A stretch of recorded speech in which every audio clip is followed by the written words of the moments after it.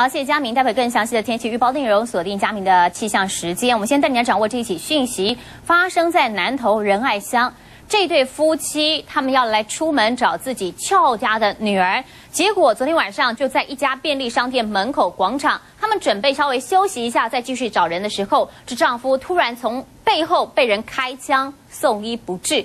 因为这对夫妻曾经多次和女儿要求他说不要再和女朋友交往了，是不是因为这样子跟女儿男友发生了争执，引来杀机？警方正在积极调查。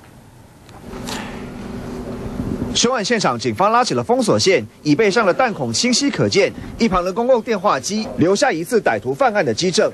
当时黄姓夫妻坐在普务公路这家便利商店的广场休息，突然一声枪响，坐在椅子上的丈夫随即倒地，痛苦哀嚎。听到砰一声，外面的声音呢，可能有一点昏厥过去的，后来又有醒过来，醒过来的时候一直喊痛。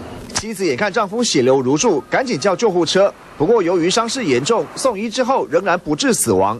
警方调查。黄姓夫妻就读国中的女儿俏家多日，他们查出女儿疑似和南丰村一群年轻人在一起。二号晚间，他们到村内找到这名年轻人，要他不要再跟女儿来往。好几次离家出走，就是就是有交男朋友了嘛，都找不到他，都被那个男朋友抢起来。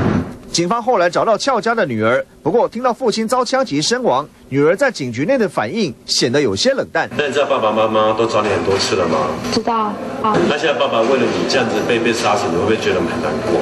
对啊。你会认识人开枪那个人吗？其实我自己也不知道。